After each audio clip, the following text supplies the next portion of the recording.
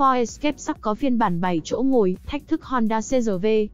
Ford đang lên kế hoạch cung cấp phiên bản 7 chỗ ngồi mới cho mẫu crossover Escape dành cho một số thị trường quan trọng.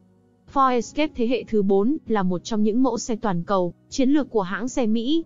Mẫu xe này còn có tên gọi khác là Kuga, tại thị trường châu Âu nơi nó hiện là mẫu plug-in hybrid bán chạy nhất trên toàn lục địa.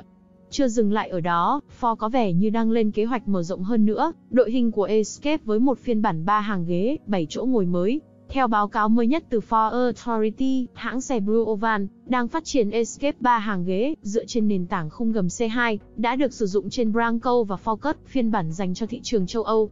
Với nền tảng khung gầm mới này, Ford Escape bản 7 chỗ sẽ có chiều dài cơ sở lớn hơn và trần xe dốc về phía sau ít hơn so với bản 5 chỗ để cải thiện không gian cho hàng ghế thứ ba. Bên trong cabin, nội thất của Ford Escape bản 7 chỗ sẽ không có quá nhiều thay đổi đáng kể, ngoại trừ điểm mới là hàng ghế thứ ba có thể dễ dàng ra vào nhờ hàng ghế thứ hai có chức năng trượt lên và xuống. Trong khi đó, hệ thống chuyển động của Escape bản 7 chỗ được cho là sẽ bê nguyên từ bản 5 chỗ, được biết đến với tên gọi nội bộ là dự án CX430, phiên bản 7 chỗ của Ford Escape, sẽ được ra mắt ở cả hai bờ Đại Tây Dương.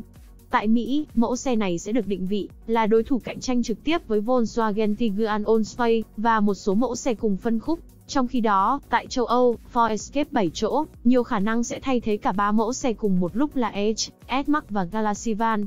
Xe dự kiến sẽ được trình làng vào cuối năm 2021 hoặc đầu năm 2022. Tại Việt Nam, Ford Escape 2020 đã được giới thiệu tại triển lãm ô tô Việt Nam 2019, với kế hoạch bán ra trong năm nay dưới dạng lắp ráp trong nước, nhưng bị lùi lịch sang năm 2021 vì nhiều lý do. Nếu bản 7 chỗ của mẫu crossover này được đưa về Việt Nam, đây sẽ là đối thủ cạnh tranh đáng gờm của Honda CR-V và Mitsubishi Outlander đều có 3 hàng ghế với 7 chỗ ngồi.